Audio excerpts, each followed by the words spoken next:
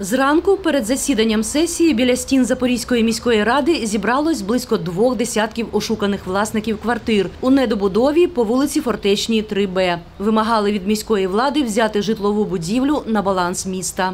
Міська влада не виконує свій обов'язок, передбачений законом України про місцеве самоврядування, закриває очі на проблеми містян, не розв'язує їх у встановлений законом спосіб. Тобто, в даному випадку необхідно розуміти, що міська влада має прийняти об'єкти незавершеного будівництва ТОВ Константа та добудувати їх. Засідання сесії розпочалось о 15-й годині. Зареєструвалися 55 депутатів із 64 обраних до міської ради. Запорізький міський голова Володимир Буряк оголосив про створення у раді міжфракційного депутатського об'єднання сприяння гендерної рівності. У його складі шість жінок: три від партії єднання, дві від слуг народу та одна від європейської солідарності. Розповів головуючий і про роботу правління Асоціації міст України у Києві, за результатами якої голови міст звернулись до уряду України з пропозицією компенсувати з державного бюджету різницю у тарифах за газ, а також відмовитись від авансових платежів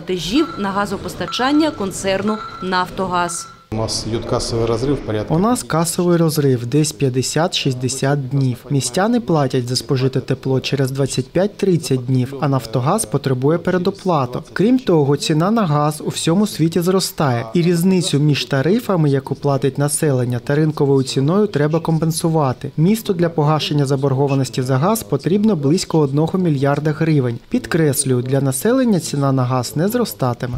Основні питання порядку денного перерозподіл бюджету на міські програми за друге півріччя.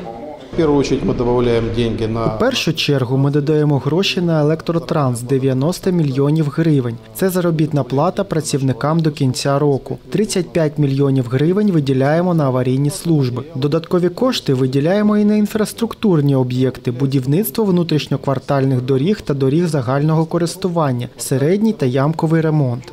Депутати одноголосно ухвалили рішення надати запорізьким призерам Паралімпійських ігор у Токіо та срібному призеру Олімпіади 2020 Парвізу Насібову по одному мільйону гривень, а також 600 тисяч гривень паралімпійській спортсменці з Тхеквандо Вікторії Марчук для вирішення соціально-побутових питань.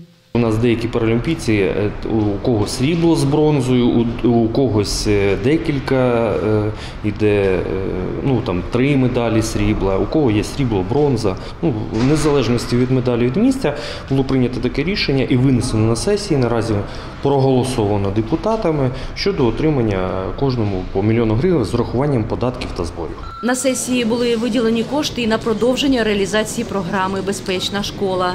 Це і протипожежна безпека, встановлення сигналізації. У нас є і е, кошти, які надійшли від соці... ну, від народних депутатів. Це соціально-економічний розвиток. Різне наповнення від спортивних майданчиків, огорожі, санвузли.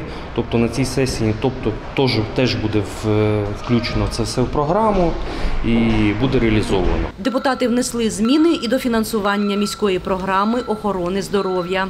Ми виділяємо на деякі е, заклади 34 мільйони гривень. Це дотація на заробітну плату. У нас е, п'ята лікарня швидкої медичної допомоги, перша дитяча лікарня, п'ята дитяча лікарня. Е, Ці заклади є дотаційними з урахуванням того, що не завжди тариф НСЗУ покриває ті, ті витрати, які фактично йдуть на пацієнта. Це з урахуванням тих витрат, які вже ми понесли, коли випла- доплачували заробітну плату у серпні, у липні цього року. З якого фонду? Ми це брали з інших програмних заходів охорони здоров'я. Тобто ви повертаєтеся? Ми повертаємо так. Скерували кошти депутати і на аварійні ремонти міських закладів культури. На аварійні ремонти близько 400 тисяч, е, тобто це е, невеличкі ремонти. Там 100 тисяч, там 130 тисяч. Ну на різних об'єктах по-різному. А пожарна безпека мільйон 233 тисячі На титан. на титан. Щодо вимог власників квартир на Фортечній 3Б, депутати не розглядали їхні питання на сьогоднішній сесії. Ольга Ларіонова, Олег Стригунов. Новини на Суспільному. Запоріжжя.